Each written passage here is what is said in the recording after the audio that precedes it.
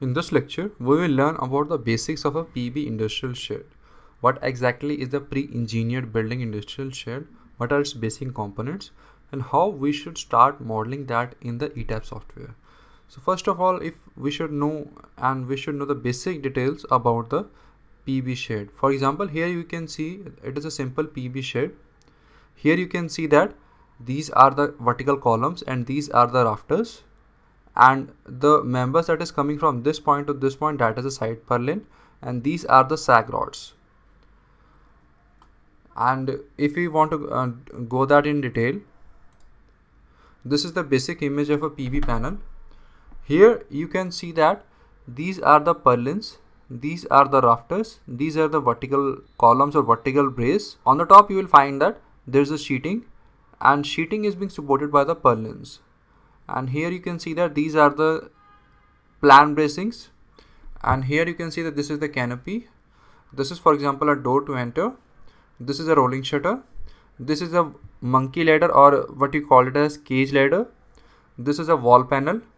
This is a roof platform. This is a catwalk to access. These are the turbo ventilators these are the roof monitors. These are the ventilators. And th this is the basically turbo ventilator or, or we can call it as power ventilator and this is a 300 regiment and this is a 600 regiment. So accessing or studying only the structural parts what a structural engineer needs to do is that he needs to design this vertical columns these rafters these purlins and these girts and these sag rod similarly we can uh, check for other examples also. For example if we will see this image here you can see that on the vertical columns basically there are some brackets. And on these vertical brackets uh, rails are welded to give the access or give the passage to the crane. So here you can see that.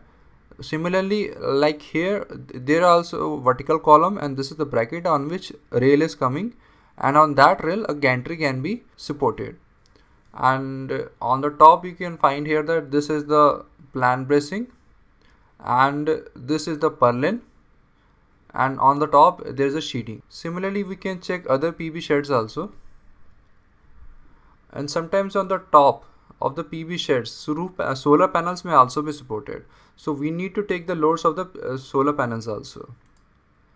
Here you can see that this is the column and these are the bolts that are being casted for the base plate of the PB shed this is also an ideal 3D model this is the vertical uh, column and these are the rafters. These are the purlins. And here you can see that basically the ideology of designing is that on the bottom that is on the point where the PB shed is being supported to the RCC columns the thickness or the width of the column is less and on the top the size of the column is more because the moment here is very high.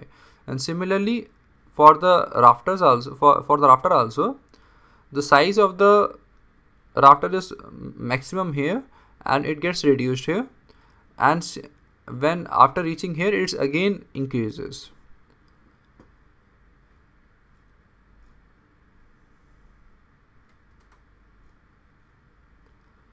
PB shed span can mm, vary from minimum 20 meters to approximately 50 or 60 meters also.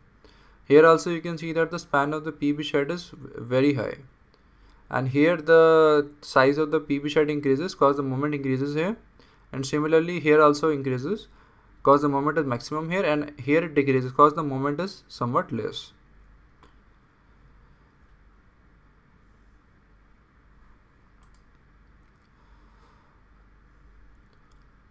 This is not a PV shed, this is basically a self-supporting roof panel.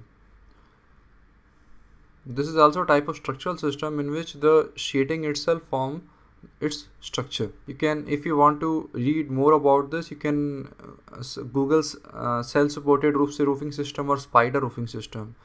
Uh, with that, you can uh, see the, uh, get some more information. From the outside, the PB sheds look like this. Some windows can be there, some rolling shutters can be there, and some entry or exits can be there but on the top it looks uh, and on the outside it looks all neat and clean